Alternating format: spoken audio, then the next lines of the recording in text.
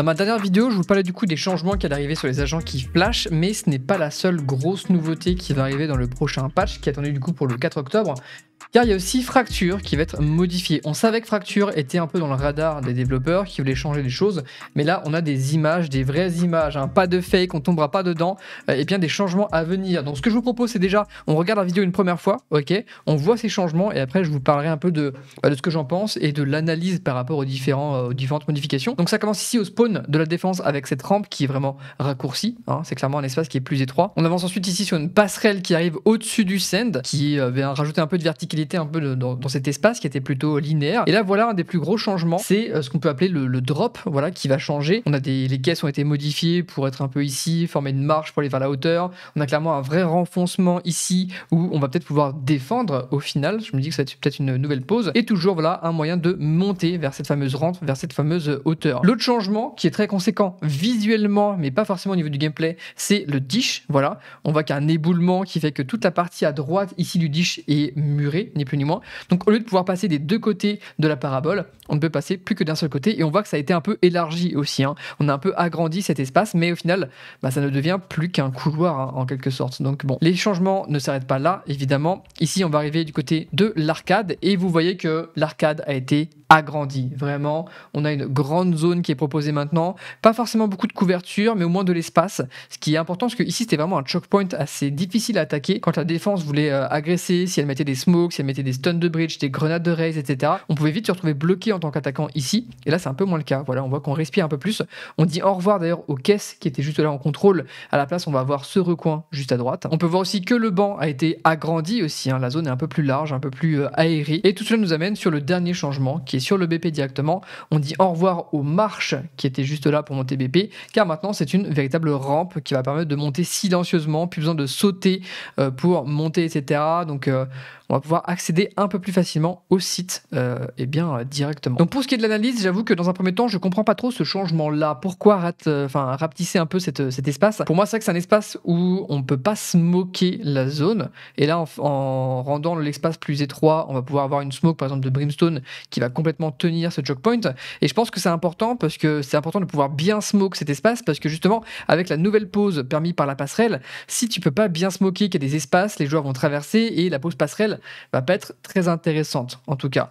Euh, la passade, d'ailleurs, je trouve que c'est vraiment bien pour les deux côtés. Pour la défense, ça va faire une nouvelle position un peu en hauteur, clairement devant les smokes d'exécution classique qui vont permettre de choper un peu des kills lors des passages sur le site. Ça va permettre aussi de décaler les joueurs au niveau du site euh, lors, des, lors des reprises, par exemple pour la défense.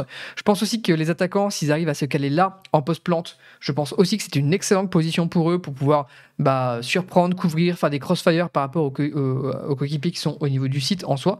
Donc vraiment, cette, ce petit changement là au niveau du send et de cette passerelle, je l'apprécie vraiment beaucoup. Pour ce qui est du drop, j'avoue que j'ai pas trop d'avis sur la question. On a les caisses du coup qui ne sont plus des couvertures possibles depuis la défense et par contre, encore une fois, cet espace là va devenir pour moi une zone qui va être jouée aussi bien par la défense, c'est-à-dire qu'on va avoir un défenseur qui va venir ici, jouer devant les smokes, se smoker au-dessus pour tenir, etc. Je, pense sans aucun souci. Et pour l'attaque, je pense aussi qu'en post-plante, avoir un joueur calé là dans ce recoin, accroupi ici en attaque, ou même là sur la caisse, je pense que ça va être une, une excellente pause en Donc pour moi, voilà, le problème du BPA, c'est qu'il y avait clairement assez peu d'options de positionnement. Je trouve que rajouter des positions comme ça, que ce soit la passerelle ou ce drop juste ici, je trouve que c'est vraiment très très bien.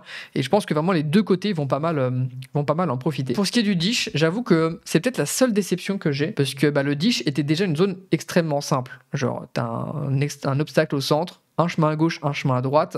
Il y avait un peu de brain possible, mais tu pouvais jouer la, zone un peu tout seul pour essayer de faire des kills, tu pouvais un peu surprendre, etc. Là, au final, la zone se résume maintenant à un simple couloir, et j'avoue que je suis un peu déçu, quoi. Pour moi, ça devient une zone qui est vraiment. Euh, bah, ultra basique, alors qu'elle avait un tout petit truc avant. Là, c'est vraiment un couloir bête et méchant, sans couverture, sans caisse, sans rien. C'est difficile à dire par contre qui va être avantagé par ce changement. J'estime que le dish était une zone assez défense avant, dans le sens où vraiment un joueur tout seul pouvait tenir la zone face à deux adversaires, je pense, assez facilement. C'est aussi une zone où on avait bah, le trap de chamber qui est mis encore, encore et encore. Je pense que ça sera toujours le cas. Et je sais pas vraiment qui va être avantagé ou désavantagé par euh, ces modifications juste ici. Franchement, je me questionne. Dans tous les cas, voilà. Un peu déçu que ça soit simplifié. Pour la suite, alors j'ai déjà un peu expliqué pour le main, mais vraiment le goulot d'étranglement ici là qui permet d'aller vers l'arcade, c'est clair que c'était trop petit, c'était trop étroit et on pouvait trop se retrouver bloqué. Là, il y a un peu plus d'espace, un peu de position de contrôle avec ce recoin là, des angles un peu plus ouverts, etc. Et franchement, j'aime beaucoup. Pareil, au niveau du banc, j'aime bien le fait qu'on puisse respirer un peu sur cet espace de la, de la map, mine de rien. Et euh, le changement pour le BP, j'avoue que ça fluidifie un peu la navigation vers ce site. Ça fait que tu fais pas de bruit en te replaçant si tu veux être en slow. Ça fait aussi que, hum, avant, si tu mettais un slow de Sage, par exemple, euh, par ici, et c'est ce que les Sage faisaient, hein, en attaque, elles arrivaient à escalier, ça mettait le mur juste ici sur mon curseur et un slow ici. Et les slows de Sage, eh bien, ils font que tu sautes un peu moins haut. Donc, tu pouvais pas monter, tu pouvais pas reprendre le site. Euh, à cause du saut de Sage. Je sais pas si c'est à cause de ça qu'ils ont modifié. Dans tous les cas, ça va forcément fluidifier un peu les mouvements, les échanges autour de ce BP, autour de, ce défaut. Et euh, bah, franchement, j'ai envie de dire pourquoi pas. Donc clairement, les changements principaux de cette fracture vont être sur le BPA qui va franchement bien changer. Moi, je trouve que c'est quand même bien vu. Et tout ce qui est fait du côté du B et de l'arcade, c'est des changements aussi qui vont être assez sympathiques, même si au niveau du gameplay, je pense que ça va modifier un peu moins les choses. Dans tous les cas, c'est vraiment une modification euh, conséquente. Hein. On revoit les images du dish. Franchement, il n'y a aucune euh, map de Valorant qui a été modifiée à ce point-là. On a déjà eu des petits ajustements, on a déjà eu des petites caisses qui changent un peu, voilà, qui changent d'angle, etc. Là, on a vraiment toute une partie de la map qui a été murée, ni plus ni moins, avec un gros effort visuel qui a été fait. Donc, euh, donc voilà, en vrai, je trouve ça assez cool de voir qu'une map peut autant changer. Et je suis curieux de voir quelle va être la prochaine map modifiée euh, de cette manière. Peut-être Split, hein, qui, on le sait, doit revenir un jour ou l'autre. Il est possible qu'elle soit en train de passer la rénovation et qu'elle revienne dans une version vraiment améliorée. Bref, voilà du coup pour ces changements au niveau du PBE et au niveau de fracture qui vont arriver dans le prochain patch, la 5.07. N'hésitez pas à me dire ce que vous pensez un peu tout ça en commentaire et à vous abonner à la chaîne aussi hein, si vous voulez être tenu au courant et eh bien, du contenu qui va sortir sur Valorant au fur et à mesure. De mon côté, c'est toujours un véritable plaisir et je vous donne rendez-vous le plus tôt possible pour une prochaine vidéo.